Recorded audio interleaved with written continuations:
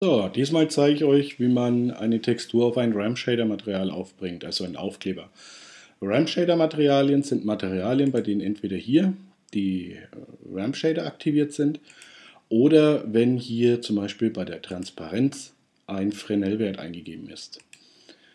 Die Krux mit den äh, RAM-Shadern ist die, dass zuerst äh, Texturen berechnet werden und zum Schluss erst der RAM-Shader. Das bedeutet, die Textur wird auf jeden Fall vom RAM-Shader beeinflusst. Um das zu umgehen, müssen wir mit dem Node-Editor arbeiten. Die Vorgehensweise dabei wird sein, dass wir uns ein Glasmaterial erstellen, ein Texturmaterial erstellen und ein Schablonenmaterial, mit dem wir dann die beiden Materialien überblenden werden.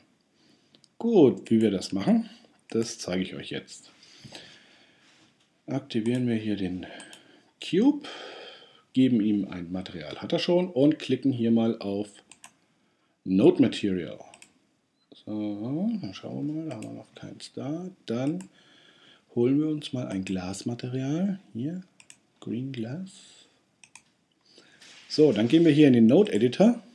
Node Editor. Das ist der Output. Dann laden wir uns das Glasmaterial rein, was, wir gerade, was ich mir gerade angehängt habe. So, jetzt sieht man schon, hier ist es transparent, aber hier nicht. Hier wird immer die aktuelle Vorschau angezeigt. Das heißt, ich muss hier noch den Alpha-Kanal mit dem Output-Alpha-Kanal verbinden und schon wird es hier transparent. Das ist jetzt, wenn ich nochmal zurückgehe in unseren Image-Editor, das ist jetzt hier unser Glasmaterial. Als nächstes erstellen wir uns unser Texturmaterial. Node-Editor. So, Dazu wähle ich alles ab mit A, Shift A, Input, Material und klicke hier einfach auf Neu. Jetzt habe ich ein neues Material. Und dann gehe ich hier, bei, achte darauf, dass der Materialknoten für unser Texturmaterial aktiviert ist. Ich nenne das hier einfach mal Textur. Muss man nicht, aber wenn man mehr Knoten hat, ist es einfacher, damit man sich weiß, um welches Material es sich hier handelt. Und äh, da legen wir jetzt unsere Textur drauf. Und zwar werde ich das diesmal nicht mit äh, dem UV-Mapping machen, sondern ich werde das einfach mit einem, mit einem Empty machen. Dazu gehe ich hier erstmal noch in die 3D-View und ähm, geben wir hier Shift S, Cursor to Selected und dann Shift A, Empty und dieses Empty ziehe ich jetzt noch bis zur Oberfläche raus. So. Ähm, das Empty drehe ich jetzt dann noch so, dass die Z-Achse hier rausgeht, weil nämlich das dann nachher auf die Z-Achse gemappt wird. So, das heißt R, Y, damit wir es um die Y-Achse drehen, 90 Grad. So. Und dann werden wir das Ganze hier noch um diese X-Achse drehen, weil jetzt im Moment äh, würde der einfach hier senkrecht verlaufen, der Aufkleber, und ich möchte, dass der so schräg von unten nach oben geht. Und deswegen werde ich das nochmal rotieren, R, und zwar um 135 Grad. Äh, natürlich muss ich angeben, um welche Achse ich, ich rotieren möchte. Ich breche das nochmal ab mit der rechten Maustaste, also R.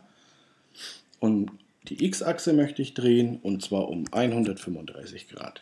So, das ist fast alles jetzt an Vorarbeit. Als letztes werde ich jetzt, Empty ist schon markiert.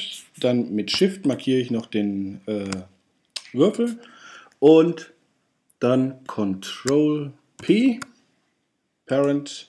So, damit bewegt sich jetzt hier das Empty auch immer mit dem Cube zusammen. Das heißt, unsere Textur wird mit dem Cube dann nachher verschoben. Jetzt können wir wieder zurückgehen in unseren Node Editor und darauf achten, dass wir hier unser Texturmaterial aktiviert haben. Hier in den Texturslot eine neue Textur vom Typ Image or Movie. Und hier bei den Koordinaten geben wir jetzt nicht Generated ein, sondern Object. Und dann wählen wir uns unser Empty. Und dann öffnen wir uns unsere Textur. Und da haben wir hier unser Blender-Logo. Bei der Vorgehensweise mit dem Empty ist es sinnvoll, wenn man sich diese, diese Texturen gleich quadratisch macht. Dann muss man sie nämlich nicht skalieren. Ansonsten muss man hier äh, über diesen Size-Button hier oder über das Skalieren des Empties äh, das anpassen, damit es nicht verzerrt wird. Macht man aber die Textur von vornherein gleich quadratisch, dann wird es auf jeden Fall so zu sehen sein, wie es auf dem Foto auch aussieht. Hier aktiviere ich noch meinen Pre-Multiply, damit es keine weißen Ränder gibt. Color ist richtig. Und hier noch statt Repeat Clip. Und jetzt müssen wir das Ganze natürlich miteinander mischen. Dazu wähle ich wieder alles ab mit A, Shift A und hier über Color Mix kommt ein sogenannter Mix Node dazu. Da verbinde ich den Ausgang hier mit dem Eingang. Und vom Glasmaterial wird der Color-Ausgang mit dem ersten Color-Eingang im Mix-Node verbunden. Vom Texturmaterial der Color-Ausgang mit dem zweiten Color-Eingang des Mix-Nodes. Und wenn wir das jetzt angucken, dann haben wir erstmal hier unsere, unsere Textur drauf, aber äh, der mischt jetzt hier dieses graue Standardmaterial mit rein. Nur um das zu verhindern, müssen wir jetzt noch unser Schablonenmaterial schaffen. Dazu aktiviere ich den Materialknoten mit der Textur, drücke Shift D, um ihn zu kopieren und setze den jetzt erstmal da drüben hin. Sage hier Single-User-Material, für die Schablone brauchen wir weder Diffuse noch Specular Shader und dann gehen wir hier in den Influence, also hier Textur. Ganz wichtig, hier oben bei der Textur auch auf Single-User, sonst ändert sich nämlich jetzt dann hier unsere tatsächliche Textur und das wollen wir natürlich nicht. Wir machen hier den Haken bei Color weg. Bei Alpha wird er gesetzt und wir drehen den Alpha-Wert auf minus 1 und hier diesen Delta Variation, den setzen wir runter auf 0. Er tut nicht das, was er tun soll. Genau das wollte ich eigentlich vermeiden. Das auf 1 ohne Alpha mit Color.